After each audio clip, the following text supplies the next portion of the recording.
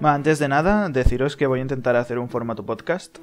Eh, así que si notáis que me, me atasco o que no pronuncio bien alguna palabra, eh, lo siento. Y, y nada, pues vamos a ello. El otro día fue martes de parche. Y, y, bueno, pues ArenaNet puso la, la tercera ala de la raid, que por cierto, que ala, señores, no, no voy a hablar mucho de la tercera ala para no spoilear, eh, solo voy a resaltar algunas de las cosas que uno puede encontrarse cuando entra en el juego. Y una de esas cosas es que, eh, si os fijáis, la lo que es el mapa de la tercera ala, lo que la zona que, abarca, no llega hasta la hematite. Es decir, no, no sé si sabéis dónde está la hematite, está por esta zona más o menos. Y el mapa no llega a esta zona, así que mi primera reacción fue ¿qué?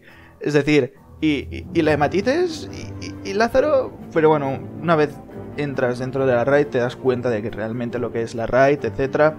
Eh, no, lo, no lo considero un spoiler, pero básicamente eh, no hay Lázaro, no, jefe final no es Lázaro. No lo ¿Por qué no lo considero un spoiler? Porque cualquier persona más o menos así puede deducirlo una vez entrando a la raid. Así que... Pero bueno, eh, de todas formas, no voy a decir nada más sobre la raid de momento. Os tendréis que esperar al siguiente Teorías de Tiria con Dark o lo que sea. Pero el caso es que eh, me sorprendió que, que, no abarcáramos el tema de, Lázaro y, la resurrección de, este. Y bueno, y el realzamiento del manto blanco. Pero no solo eso, sino que eh, han aparecido nuevos eventos de bandidos, bandidos que están confabulados con el manto. Eh, ya se sabía, pero ahora directamente es, es- está claro. Es decir, no, ha- no, nadie puede decir que no. Y, ¿Y eso qué quiere decir? Eso quiere decir que la historia, la historia del manto blanco continúa en la historia viviente. Que realmente la raid solo es el pistoletazo de salida, solo es la introducción de, eh, existimos, somos el manto blanco, etcétera. Te da un montón de información. Aunque no temáis porque ArenaNet ya ha dejado claro en muchas ocasiones que la historia de la raid no será necesaria comprenderla para comprender la historia viviente. Si hay elementos de la raid que son necesarios para la historia, nos los volverán a explicar durante la, la historia viviente. Así que no os preocupéis, no hace falta jugar a la raid para seguir con la historia viviente. Pero el caso es que ya sabemos que la trama del manto blanco va a, va a, a seguir durante la historia, la historia viviente y eso... Eso a mí me encanta porque es que sinceramente la, la. Ahora mismo si sigue el nivel tal y como está en la raid, es la trama que más me atrae en Guild Wars en, en años. Y, y digo Guild Wars, ¿eh? no digo Guild Wars 2. Es decir, ahora mismo estoy flipando, estoy muy hypeado. He visto el boss final de la raid y se me cae la baba. Y espero que hayan cosas similares en... Bueno, toda la raid es una pasada, ¿eh? Toda. Y, y espero que hayan cosas similares en la historia viviente. Pero ya veremos, de momento, eh, lo que he dicho, han aumentado las actividades de los bandidos, otra vez han aparecido nuevos jefes bandidos, y no solo eso, si hemos completado las misiones de la hoja brillante, es decir, la, cadena de logros de los bandidos, eh, nos envía una carta, un tal el errante, y repito, el errante, que nos, nos advierte de que, básicamente nos advierte de que dejemos de jugar a héroes, y dejemos de, involucrarnos en, sus asuntos, ¿no? Que no nos juntemos con la hoja brillante.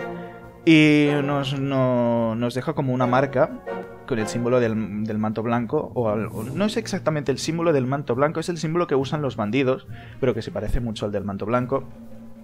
Y básicamente, ¿qué hace este símbolo? Este símbolo, una vez lo recibes, eh, si haces un evento de bandidos, eh, al menos los nuevos, no he probado los anteriores, aparece un eh, verdugo o ejecutor bandido, no me acuerdo cómo se llama. Y, y básicamente eh, te revienta. Y yo pensaba, bueno, mira, aparecerá un tío y, y lo mataré y ya está, pero...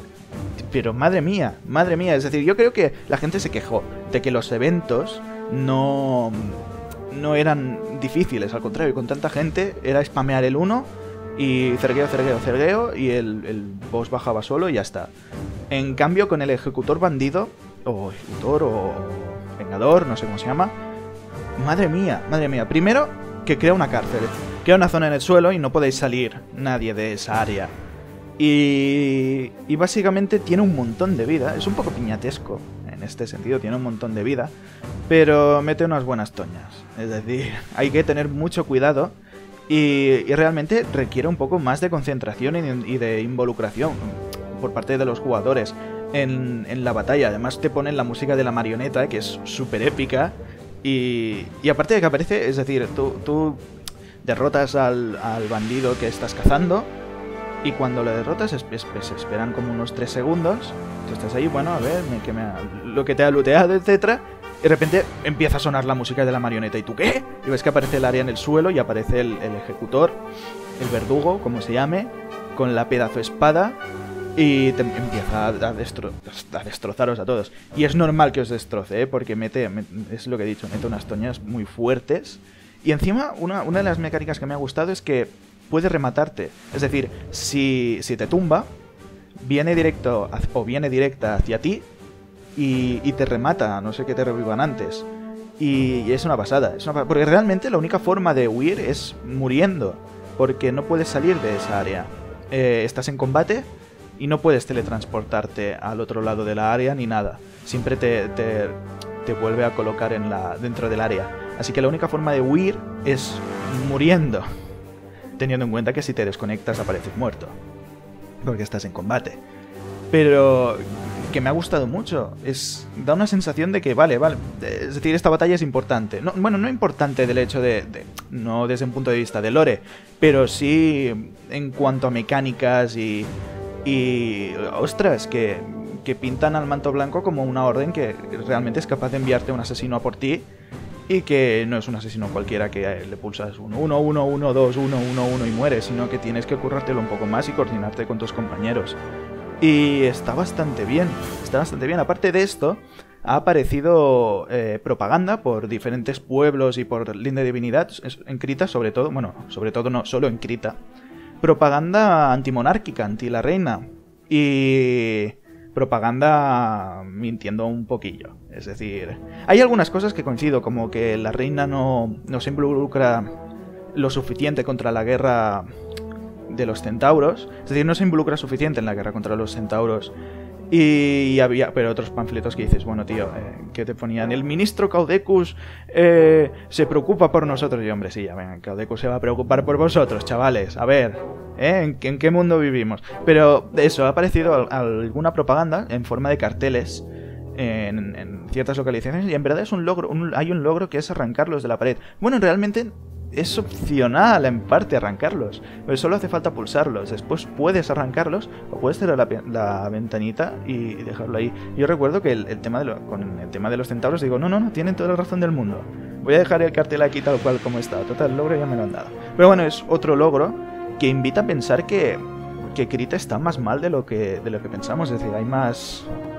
Hay más conflicto interno, ¿no? Hay ciertos aires de, guerra civil, ¿no? La guerra encrita. ¿Recordáis lo, algunos de vosotros, quizás los que habéis jugado a Guild Wars 1, recordáis lo que es la guerra encrita. Fue una guerra civil que hubo eh, tras lo ocurrido en Guild Wars Prophecies. Fue una de las actualizaciones de Guild Wars Beyond, cuando ya habían salido todas las campañas y, la expansión. Y básicamente era la guerra de, de la realeza encrita contra el manto blanco, o lo que quedaba de él, porque estaba bastante tocado el manto después de lo ocurrido en el Prophecies.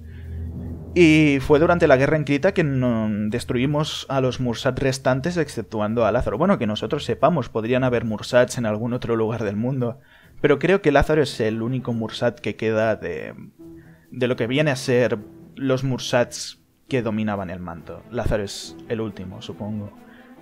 Y bueno, es que Lázaro lo, tenemos aquí ya para la historia viviente. Yo creo que es que, claro, pero cuando te paras a pensar, ¿qué, qué pasará? Es decir, eh, ¿la historia viviente seguirá la historia de Lázaro y del manto blanco y la guerra encrita? ¿O, la, trama del huevo? ¿O hará un poquito de las dos? ¿O empezará con una y acabará con otra? o, o quizás están relacionadas, quizás, quizás usan el huevo para resucitar a Lázaro. O alguna cosa así. Ah, no sé. No, no tengo ni idea. Pero yo creo que empezaremos fuerte con Manto Blanco en la tercera temporada. O quizás vayamos a visitar a Taimi, la saquemos de, de Ratanobos. Y luego tengamos una buena tanda de Manto Blanco. Creo, no sé, ya veremos. Estoy muy emocionado. Estoy muy emocionado por esta tercera temporada de la historia viviente. Porque la raid es una pasada, no os lo podéis ni imaginar. Bueno, los que ya habéis jugado a la raid ya lo sabéis. Esta tercera ala es es por lo que he visto y he podido ver y he leído de los comentarios, es una, es una locura, es una pasada. Y en implicación de Lore, no, es que me, ha dejado roto. Me ha dejado que creo que es... Eh, y ya lo he dicho, pero es que es el... Desde el punto de vista del lore de la historia, es el momento que más me está emocionando Guild Wars 2. Y, y es, no, no, me sentía así desde Ley of the North, quizás. O desde Abaddon, o desde. No sé. Es. No, no, desde Ley of the North. Yo en el Ley of the North estaba muy emocionado. Pero hacía tiempo que no sentía esto. Y, y realmente quiero que empiece ya la historia viviente. Quiero. Quiero saber qué pasa con el manto. Es decir, creo que este alejamiento un poco de la trama de los dragones está muy acertado ahora mismo. Y, no puedo esperar a ver qué hacen. ¿Vosotros qué opináis? ¿Tenéis ganas de luchar contra el manto o preferís seguir con la trama del huevo y los dragones? ¿O quizás preferís ir a Ratanobus a ver a Taimi y a intentar enterarnos un poco más sobre la naturaleza de los dragones ancianos? Yo no lo sé. Yo, yo quiero todo a la vez, pero todo no puede ser. O quizás sí, quizás lo combinan, no sé. ¿Qué opináis? Lo que sí que quiero es, es Ogden, Ogden Curador de Piedra en el Priorato tiene, tiene que aclarar muchas cosas. Él sabe muchas cosas. Él, sabe muchas cosas. Averiguaremos quién es, ¿eh? Por fin, esta temporada. Yo creo que sí. Yo... Yo creo que sí. Ya veremos. Y por cierto, ¿qué os ha parecido este formato podcast más más rápido y dinámico. ¿Me, habéis podido entender bien o preferís algo más, quizás más cortito, pero con un guion más claro y con los puntos más claros? Porque lo que me he hecho, sinceramente, es ponerme unos puntos para hablar y simplemente ir siguiendo y improvisando un poco sobre la marcha. Aunque normalmente tengo un guion muy preparado sobre lo que tengo que decir. No sé qué es lo que preferís. ¿Cómo lo preferís? Comentádmelo en la caja de comentarios. Será, será de gran ayuda. Porque si realmente os gusta este, este rollo más de podcast, quizás lo haga de vez en cuando. Eso no significa que los vídeos con guion vayan a desaparecer, ¿no? Porque incluso a mí me gustan más y, y, queda más profesional. Y, y, no solo eso, sino que evidentemente si hago un vídeo de Lore, de recap de Lore, no lo haré de memoria, sino que me marcaré un buen guion, etcétera, etcétera. Pero para hacer vídeos de opinión o de, o de actualizaciones rápidas, pues de vez en cuando me va bien tener algo rápido por hacer porque tengo mucho trabajo, no os lo podéis ni imaginar. Ya sé que he dicho mil veces esta frase en muchos vídeos, pero es la realidad, lo siento, es lo que tiene dedicarse a lo que me dedico. Pero bueno, en fin, espero que, lo, que hayáis disfrutado igualmente del vídeo y, y, que estéis tan hypeados como yo por la historia. Seguro que algunos de vosotros debéis estar tan o más hypeados que yo. Pero en fin, solo nos queda esperar un poco. Ajá, y tiría. Espero que hayáis disfrutado del vídeo. Dadle like si os ha gustado y suscribiros si queréis más. Y si aún no tenéis la expansión, podéis comprarla usando este link tan sexy, patrocinado por ArenaNet, que os dejo aquí, con el cual ayudaréis a financiar el canal y podré producir vídeos de mayor calidad. Muchísimas gracias por quedaros hasta el final. Que Durman guíe vuestras plumas y Ascalon Eterno.